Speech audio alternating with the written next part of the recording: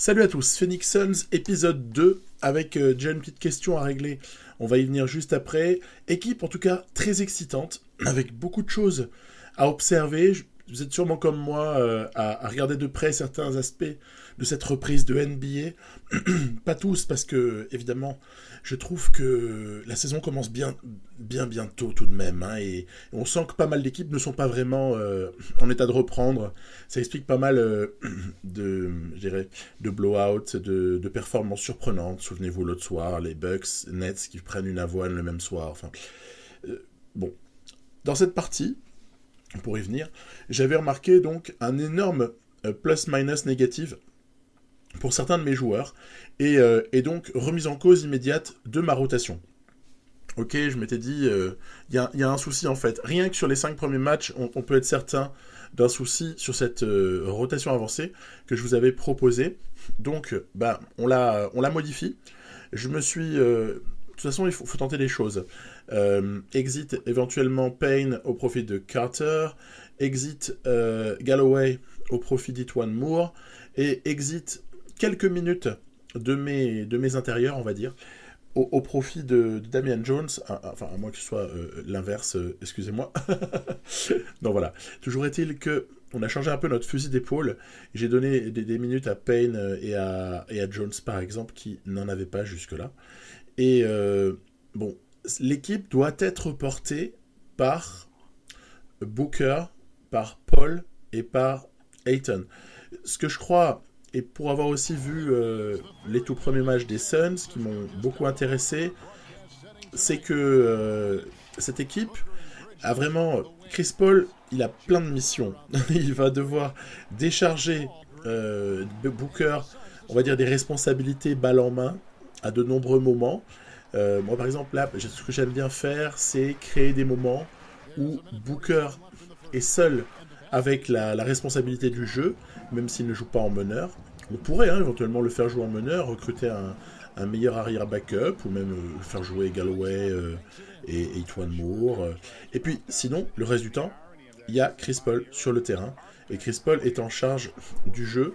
Donc, alors là, là c'était amusant, puisque contre, contre les Warriors, sixième match de la saison, je m'étais dit, voilà, bah écoute, on, le joue. Euh, C'était histoire aussi de reprendre la manette à ce moment-là. On, sait qu'on est sur une saison où donc les défis de Chris Paul sont multiples. On l'attend peut-être davantage pour faire briller certains que de briller lui-même au niveau du, du scoring, hein, par exemple. En tout cas, moi, c'est pas vraiment ce que j'attends de Paul. C'est plutôt qu'il qu'il euh, permette à Ayton de devenir un autre joueur. C'est euh, là, on voit quand même, il est capable aussi d'aller filocher euh, de près. Hein, c'est ça reste Chris Paul, mais de, de permettre certains jours à Bridges de de s'éclater et de, de, briller là aussi sur du peut-être plus du catch and shoot, sur des bons systèmes bien posés. Euh, voilà, il y, a comme ça plusieurs missions. Moi, je pense qu'il va falloir inventer un banc également à cette équipe. Ce sera le, le gros boulot dans cette, dans cette carrière, et c'est ça qui est assez drôle, c'est de devoir, euh, on va dire, constituer un banc de, très bonne qualité. Euh, ben justement, c'est un peu en lien avec ce par quoi je commençais c'est euh, éviter comme ça qu'il y ait des, creux dans la rotation, des moments dramatiques dans lesquels tu prends, euh, tu prends une avoine parce qu'en fait elle est, mal pensée ou alors elle n'est pas assez riche, etc. Donc euh, on a travaillé comme ça, euh, bon, ce match l'illustre un petit peu, avec peu d'adresse externe encore une fois, mais quand même globalement un, bon, un, bon, un bon scénario pour, pour nous. Euh, on, notera donc ce, ce 3 points de, de Crowder. C'est vrai que les, les 3 points, je pense à les noter tellement il y en a peu en fait. Hein. Euh, des Warriors quand même bien tristounets, faut quand même l'avouer. D'ailleurs, euh, vous me direz ce que vous en pensez, mais c'est un peu aussi pour ça que j'avais joué les Warriors. Je m'étais dit, euh, j'avais joué ça un peu avant le, début de, la NBA, ce match-là par exemple, vous voyez. Hein. Euh, je m'étais dit, euh, tiens, étonnant, on va regarder un peu ce que ça vaut dans le jeu. Et puis, malheureusement, le début, il n'est pas florissant, je trouve. Hein. Enfin, je sais pas ce que, vous en pensez, mais à ce stade-là, toujours pareil, de, parler après ou même euh, pendant, c'est toujours délicat, mais à ce stade, les Warriors, je les trouve bien piteux. Et, euh, et je demande vraiment à voir si cette équipe-là est capable de se frayer un passage, ne serait-ce que pour la lutte pour les 9 et 10e places, je dirais, pour participer au play-in, puisque c'est le format adopté en NBA cette année. Donc, dans la partie, ben, on verra bien si les Warriors se qualifient ou pas, mais, mais bon, la, vérité NBA 2K est toujours quand même assez différente de la vérité du, de, la NBA réelle, quoi. On a, on a parfois des, des petites différences assez, assez importantes qui se qui s'introduisent. Vous voyez, j'ai avancé un petit peu. Donc début de saison, c'était début décembre. On a presque fait un mois pour un bilan euh, là pour ces Suns qui est pas mal. Par exemple, les Timberwolves et les Pelicans ont tendance à dépasser un petit peu les attentes. Les Kings aussi euh, à l'Ouest euh, à ce stade-là. vous allez voir, il y a une équipe qui va surperformer, qui va être énorme sur cette saison-là à l'Ouest. En sera-t-il de même dans la réalité? Bah, je, vous donnerai mon humble avis euh, un peu plus tard, mais euh, je ne veux pas spoiler quand même, c'est pas, pas cool. Euh, donc, vous voyez, j'ai avancé, puis après j'ai simulé un peu par bloc, parce, que, parce que je me suis dit, on a besoin de, de voir un peu et d'avancer sans trop tarder, en fait, voilà. je trouve que c'était intéressant, en tout cas, d'essayer d'avancer relativement vite ce, ce, saison. Un peu à l'image de ce que je vous ai proposé euh, dans mon épisode 2 de OKC, dans mon épisode 2 également des Raptors, essayer de voilà d'avancer un peu, de voir, puisque en fait l'objectif là avec ces Suns, c'est quand même du développement en interne mélangé à essayer de profiter euh, ben, du déjà peut-être presque prime de Devin Booker, du, du, soleil couchant on va dire de, de Chris Paul. Euh, tiens, un petit rendez-vous avec une équipe que, j'aime bien et que je regarde de près. Euh, pour, tout vous dire, j'ai failli vous proposer une série avec les Wizards. Enfin, j'ai failli, peut-être qu'un de ces jours, ça me prendra, mais en tout cas pas sur cette partie-là. Euh, parce qu'en fait, j'avais envie d'avoir un peu plus de recul sur, euh, sur cette équipe des Wizards, que je trouve assez intéressante à observer, avec... oui, pour moi, c'est une plus-value, en fait, d'avoir Russell Westbrook plutôt que John Wall. Euh, je parle même euh, plutôt que John Wall qui joue, parce que c'est vrai que depuis deux ans, on avait euh, presque deux ans, on avait John Wall qui ne jouait pas. Donc évidemment que c'est une plus-value d'avoir un joueur qui joue à sa place. Mais au-delà de ça, elle, est, passionnante à voir, cette équipe des, Wizards, alors qu'on rate tout ce qu'on veut en extérieur, même quand c'est ouvert, ça, me, ça commence à me gaver, mais d'une force pas permise. parce qu'offensivement, elle semble assez phénoménale en fait. Hein elle, est, assez magnifique. Regardez, le talent, euh, on ne parlera pas de Westbrook que tout le monde connaît, de Bradley Bill que nous connaissons tous, euh, peut-être plutôt évoquer le cas de Hakimura, qui est un, un vrai bel attaquant, honnêtement, hein. c'est pas joli ces séquences là de Westbrook, elles sont somptueuses. Euh, donc Akimura c'est un, vrai beau joueur, offensivement surtout. Et pam, encore une, je vais sélectionner des actions où il y avait du, très très gros Russ West. Euh, et nous, on a, on a essayé d'exister euh, comme on a pu. Après, c'est pas, pas toujours évident. Mais euh, je colle au score, on va dire, avec mes bases qui sont bah, le jeu sur Ayton. Ici, c'était plutôt pas mal son petit move là jusqu'au cercle. On est à égalité, la fin de match est très très serrée. 3 points Westbrook, je laisse tous les jours, pas de problème. Je laisse shooter. oui, donc je vous disais, Akimura, je trouve qu'offensivement c'est super excitant. Euh, le petit Avdia, mine de rien, il mérite d'être regardé. Je, trouve que ce joueur est, euh, assez sympa. Moi, j'aime bien leur intérieur. je suis peut-être le seul à, bien aimer leurs intérieurs, Mo, Wagner et, Thomas Bryant, mais je trouve qu'ils sont sous-cotés en vérité. Je, j'aime bien, mine de rien, ces deux gars-là. Parce que, euh, d'ailleurs, déjà, ces deux types qui ont été complètement lâchés par les Lakers euh, et, envoyé contre rien, hein, et complètement méprisé hein, quelque part. Hein. Allez, ici, hop, voilà, sur la contre-attaque. On prend l'avantage. Terminerai après. Bradley Bill qui foire son shoot. On a ici une situation de contre-attaque éventuellement à exploiter, ce sera le cas. Avec le traditionnel alley-oop, c'est Lob City cette année sur, euh, sur NBA 2K. je suis obligé, je rentre rien à l'extérieur. C'est Westbrook qui force. Et une contre-attaque pour nous. Et hop là, Devin Booker qui va euh, terminer le match. Euh, donc, je, trouve qu'il y a comme ça beaucoup de, beaucoup de choses très très sympas. ce contrat de Bertans, comment est-ce qu'on peut l'analyser? Est-ce que euh, Bertans a un trop gros contrat ou est-ce qu'au contraire, de nos jours, 5 ans à 80 millions pour un shooter de très très haut niveau, est-ce que c'est euh, tout à fait normal en NBA J'aurais presque tendance à penser ça, euh, puisqu'on est dans une ère totalement différente de ce qu'on a pu connaître. Hein. Le monde évolue et la NBA aussi très très rapidement. Donc euh, voilà, bah, j'aime bien ces Wizards. Je trouve que ça, mérite d'être vu. Euh, on verra peut-être qu'un de ces jours, mais bon. Je dis, j'ai hésité assez longuement, puis je me suis finalement reste sur Suns, OKC et, et Raptors, qui, qui représentent un, petit projet à eux, tous, là, à eux trois. Mauvaise passe ici, hein, vous voyez mauvaise passe. On arrive vers la fin du, du mois de janvier, avec un bilan qui va repasser en positif, là, un petit peu à la fin du mois.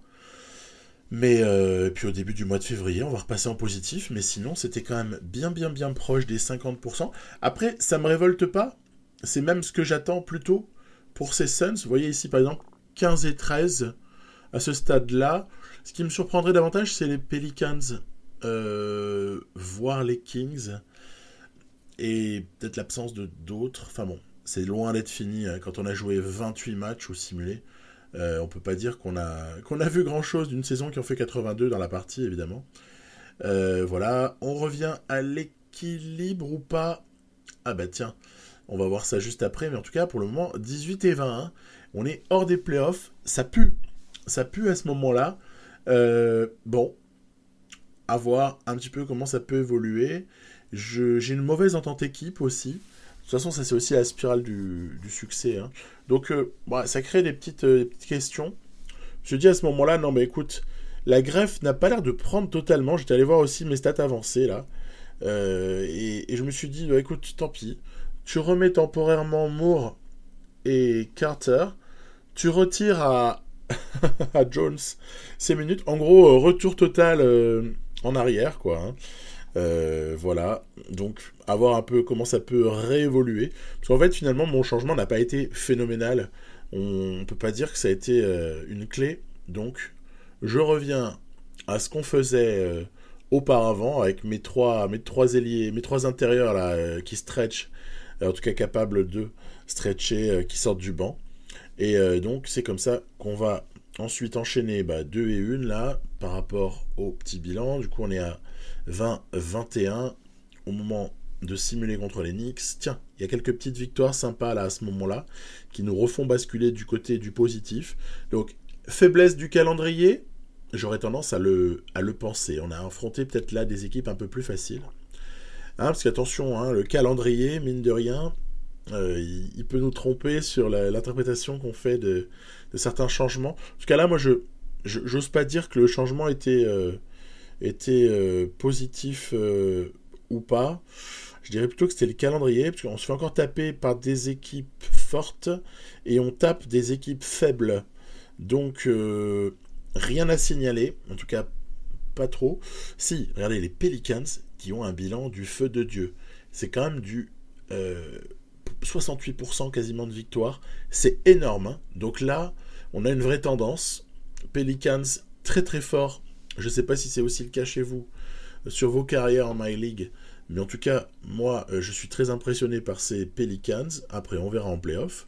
Hein. Ça peut aussi euh, prendre une autre dimension dès lors qu'on se retrouvera face à quelques adversaires un peu plus, un peu plus armés et peut-être différemment différemment constitués, à pouvoir éventuellement contrer certaines, certaines équipes. Toujours est-il que là, eh, on est pas mal. On est pas mal. On est à un, petit bilan là qui est fort sympathique. Ce petit 34 et 29, donc euh, à la, mi-avril à peu près, nous met euh, un petit matelas, on va dire, d'avance pour la qualif. oui, il n'y aura pas de play-in hein, sur cette carrière-là. Hmm, j'espère pour une prochaine, mais je, je, ne sais pas à quel moment est-ce qu'NBA 2K aura décidé de nous faire bénéficier du commencer maintenant, puisqu'il est marqué que ça commencerait au début de la saison, mais en fait c'est pas le cas. Encore un bilan assez équilibré au final, vous voyez, défaite, victoire, défaite, victoire, on, on perd quand même globalement contre de bonnes équipes, à part là les Clippers, mais euh, hein, dès qu'une équipe nous est un peu sur le papier supérieur on a tendance à perdre et on a tendance quand même à prendre les matchs contre les équipes inférieures, 40 et 36 proches de la toute fin, puisque vous voyez, il reste 6 matchs à ce stade-là. On est pas mal en vue de la qualif, mais ça n'est pas fait. Donc, euh, bah écoutez, j'ai simulé un peu. Euh, gros drame, on en perd 3. Donc là, alerte totale. En plus, Cavs the Bulls. Euh, waouh, et une, une, des, des Pelicans qui, qui, sont même en position d'être deuxième là à l'ouest. C'est une tuerie, hein.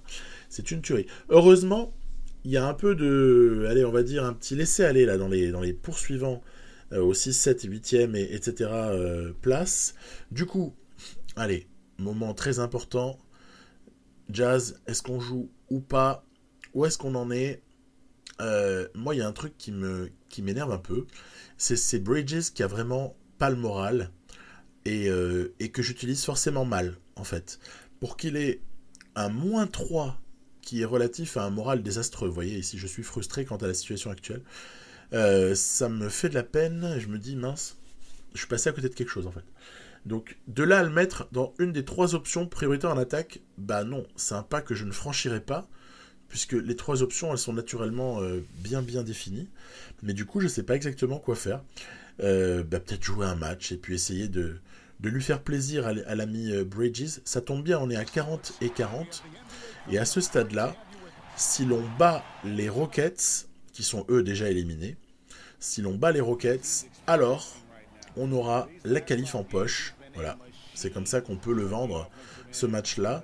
Cousins a 25 points sur les 5 derniers matchs. Ok, pas mal. Et euh, il va falloir se le coltiner.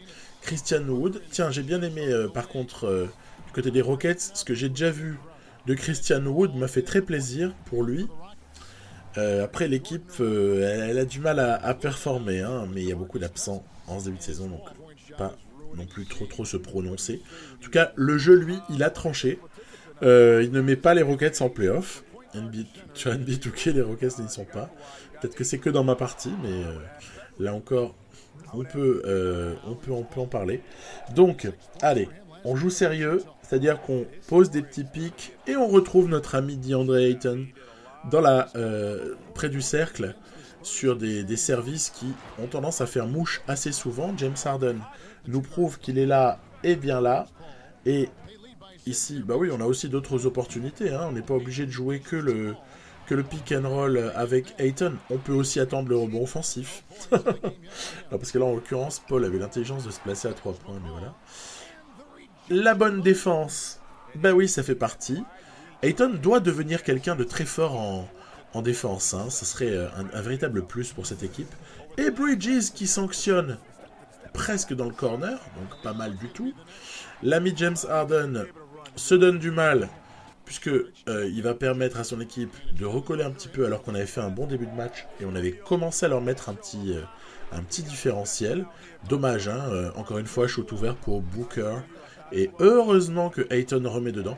Ayton, il a marché sur Cousins.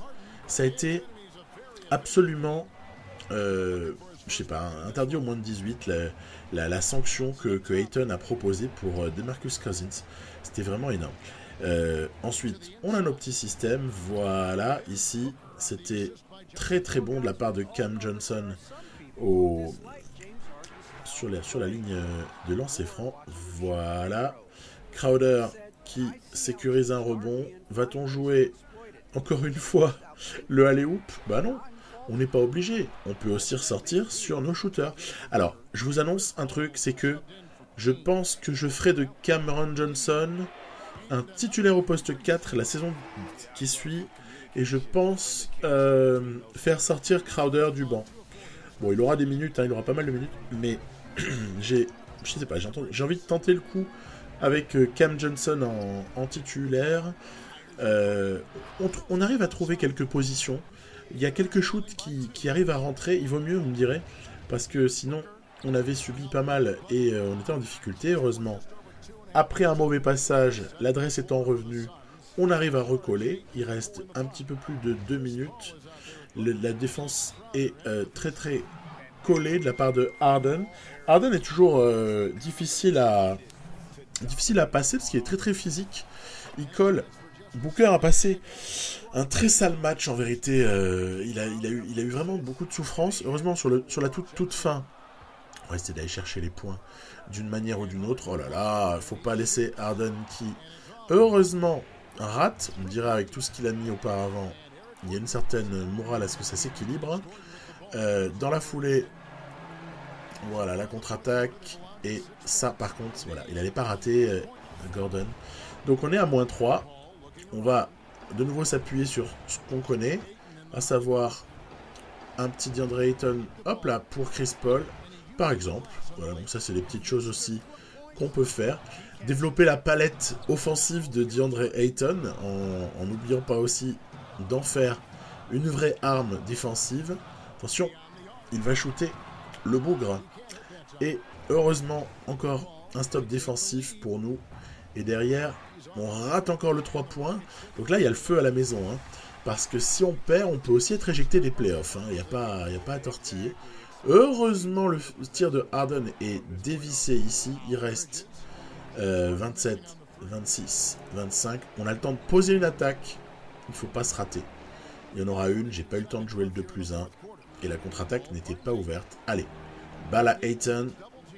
Balle à Ayton. Prise à 2. On ressort la balle. Et qui est-ce qu'il a dans le corner? Jay Crowder.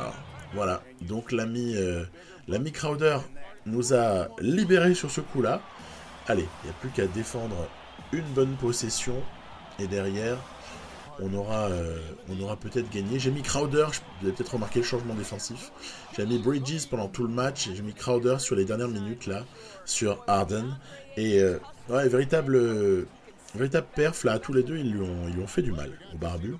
Et ça a permis d'arracher notamment bah, ce contre, donc ce rebond.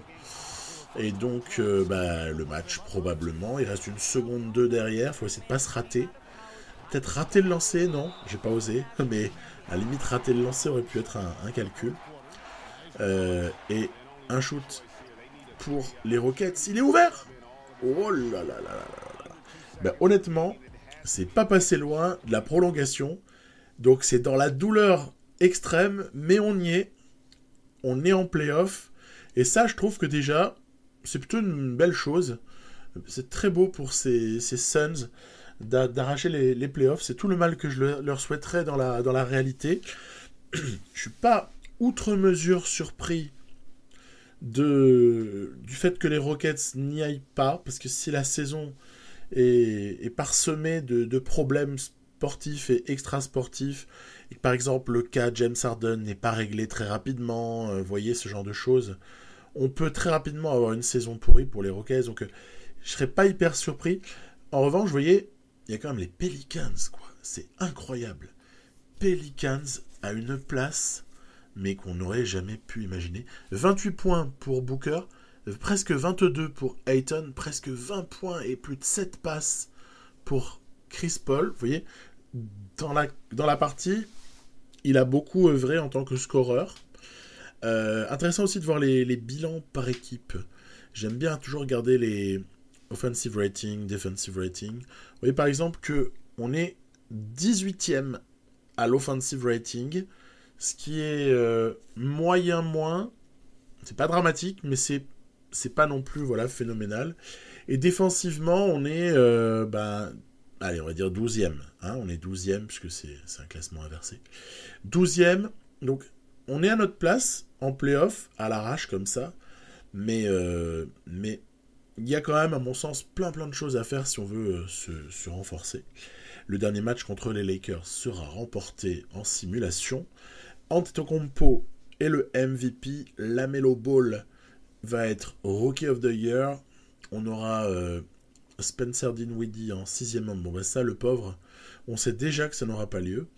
Euh, puisqu'il s'est pété, le pauvre. Yanis qui refait un doublé euh, puisqu'il a le Defensive Player of the Year. Je vous avais déjà montré Darius Baisley en Most Improved Player. Un peu surprenant quand même, hein. ne, nous le cachons pas. Frank Vogel, voilà, et les All-NBA euh, euh, Team. Donc, bah, il n'y a pas grand-chose de scandaleux, hein, honnêtement. Il n'y a pas grand-chose à, à redire. Peut-être que Booker avec un bilan comme le nôtre, n'aurait pas démérité, avec ses 28 points et des bons pourcentages, de faire partie comme ça de, des hommes récompensés. Mais bon, voilà. On aura Chris Paul, bien sûr, sur une équipe défensive. Et euh, qu'est-ce qu'on aura d'autre? On aura aussi du côté des rookies. Euh, on aura du côté des rookies une petite reconnaissance qui ne sera pas sur la first team, mais qui sera sur la second team. Voilà, c'est l'ami Jalen Smith qui se verra, euh, on va dire, couronné d'un petit petit succès agréable. Et évidemment, les playoffs arrivent. Je vous ai déjà montré ce tableau de playoffs, en tout cas partiellement. Il n'y avait pas l'Ouest, puisque j'avais pas voulu le montrer dans l'épisode Raptors pour pas euh, déflorer le truc à l'Ouest, sinon ça, ça gâchait un peu le suspense. Les Suns euh, terminent euh, très très très très bien, vous voyez. Et qu'est-ce qui va se passer aussi en bas? Ben, en bas, vous voyez, Utah, Sacramento, Rockets, Spurs, Timberwolves, Thunder. Bon, ça paraît encore une fois peut-être envisageable. Utah me semble quand même pas à sa place et les Pelicans me semblent bien bien haut.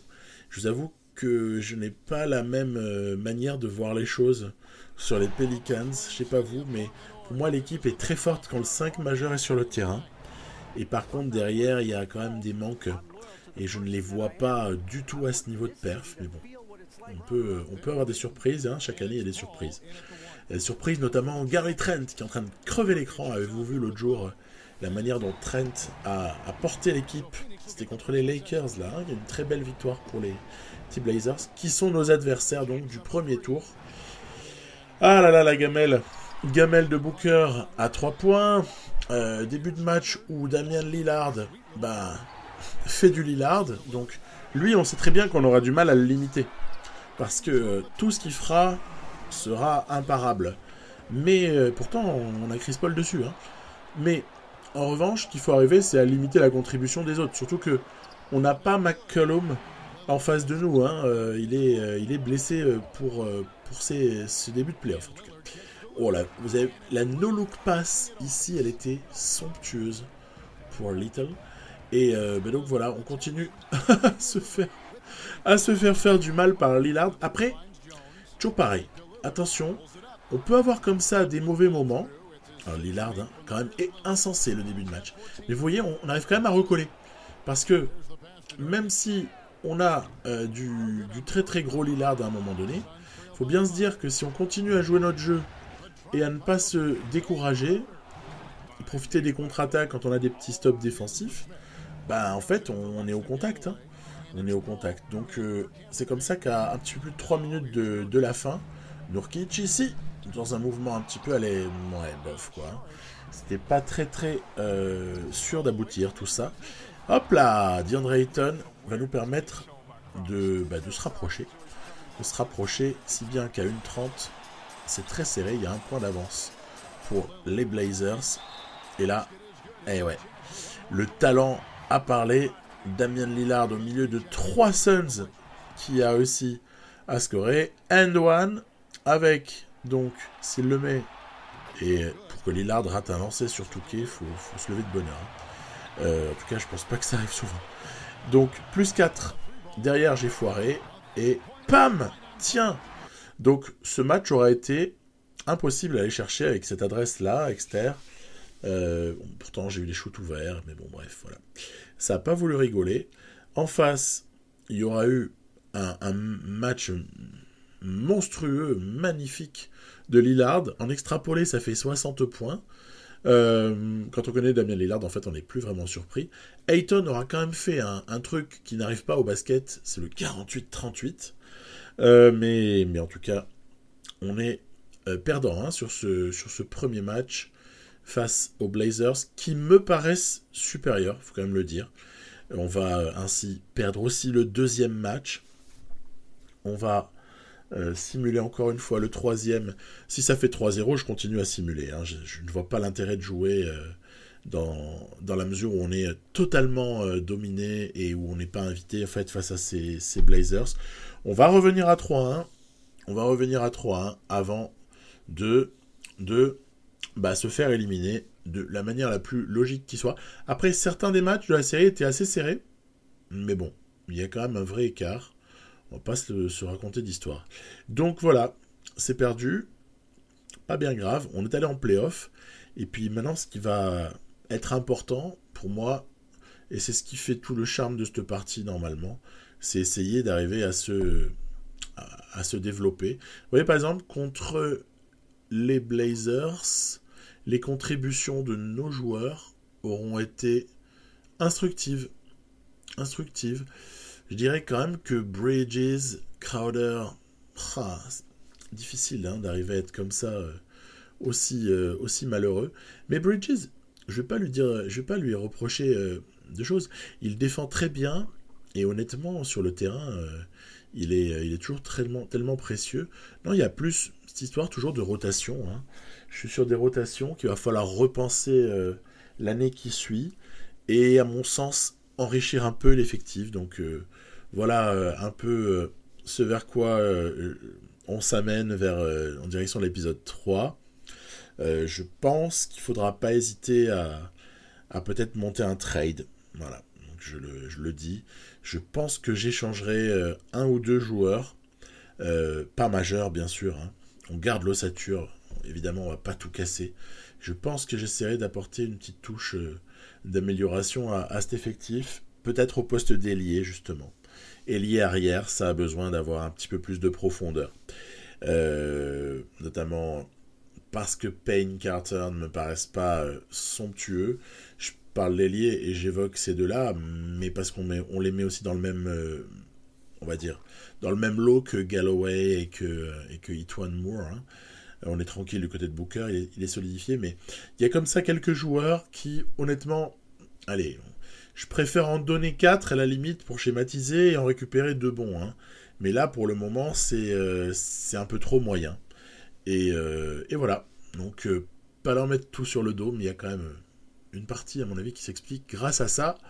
Michael Bridges, on essayé de lui redorer le, moral. Là, il va falloir arriver à, arranger tout ça. Il va falloir également euh, mettre à jour euh, la partie. Je vais vous proposer dans un instant parce que il y a eu pas mal de choses qui se sont passées. Vous parlez de, ce rôle de titulaire hein, que je promets pour euh, Cam Johnson dès, la saison qui, suivra. il y a eu pas mal de petites signatures, vous avez vu, hein, ces derniers temps. juste avant la reprise de la NBA, il y a eu quelques contrats prolongés qui sont fort intéressants. Donc c'est ainsi que, par exemple, pour ce qui est des Raptors, dans mon autre partie, l'ami euh, Anunobi a prolongé à 72 euh, millions sur, euh, sur 4 années. Ayton, il y a encore une année. On est tranquille. Et donc, je me suis amusé un peu à, voilà, remettre un peu tout ça, tout ça d'aplomb. Et pourquoi je le montre maintenant? C'est parce qu'en fait, on approche de l'été 2021, fatalement, à ce moment-là. le cap space des Suns va pas être phénoménal. Hein. mais tout de même, on pourrait faire du cap, agrandir le cap space si on faisait certains mouvements, pour aller recruter qui? Et c'est donc le, point sur lequel je veux arriver, c'est que, avez-vous vu, Yannis Antetokounmpo, on peut pas le prolonger de 5 ans, hein, mais Yannis Antetokounmpo a, a prolongé de 5 années, euh, donc au Supermax. On a eu euh, comme ça quelques prolongations qui sont intéressantes parce qu'elles vont, mine de rien, un peu limiter la richesse, je dirais, c'est pas le vrai contrat. Hein. Normalement, il a plus, mais là, pas, il n'était pas éligible. Hein. Euh, ça va amoindrir, finalement, tout ça va amoindrir la richesse, on va dire, de la Free Agency 2021. Parce que euh, vous avez également Paul George qui a euh, aussi prolongé à 228 là sur 5 ans. Il y a eu comme ça une salve de prolongation. Voilà, il fallait enlever l'option ne pas laisser une option équipe, sinon il y a un petit bug qui s'instaure. Euh, voilà, plein de choses. Gober également, qui ne devrait pas bouger, ou alors il y aurait trade, mais Gober a également été prolongé. Il y a aussi quelques joueurs auxquels on s'attendait pas. Regardez, qui est-ce que... Bon, Gober, on s'y attendait peut-être, mais Fultz. Qui s'attendait à ce que Markel Fultz prenne 50 millions environ sur 3 années? euh, Et donc, euh, après, moi, je trouve que il est en vraie progression. Hein. Au final, le gamin montre de belles choses et, il, n'est pas loin de mériter cette, extension de contrat. Mais bon, souvenez-vous les interrogations qu'on a pu déjà connaître au sujet de Fultz. Et puis au-delà de Fultz, vous avez même voilà un joueur un peu plus peut-être anecdotique pour, pour certains, euh, Derek White du côté des Spurs, qui a lui aussi été prolongé sur 4 années. Je crois qu'il a pris 73 euh, sur, euh, sur 4 ans, ce qui est un fort joli contrat, mais c'est un très bon joueur, Derek White. et puis voilà, Jonathan Isaac aussi a été prolongé à 80 millions sur 4 années, même s'il ne jouera pas de la saison, on le sait. Il y a comme ça de, de nombreuses resignatures qui, honnêtement, impactent les parties. Kyle Kuzma, qui a repris 40 millions sur 3 ans. Euh, il y avait une vraie interrogation hein, par rapport à ça. Euh, donc voilà, c'est intéressant, puisque autant jouer dans les conditions, on va dire, de l'été 2021, en tout cas essayer de s'en rapprocher euh, à max. Et voilà, sur ces petites images, je vous dis à très bientôt pour un nouvel épisode. Bye bye parlera des, Raptors dans pas longtemps et de OKC. Prochain épisode sera OKC.